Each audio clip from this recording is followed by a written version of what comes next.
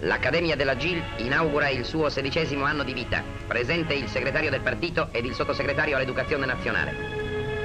Il grande affresco allegorico nell'aula delle medaglie d'oro. Il segretario del partito fra gli accademisti.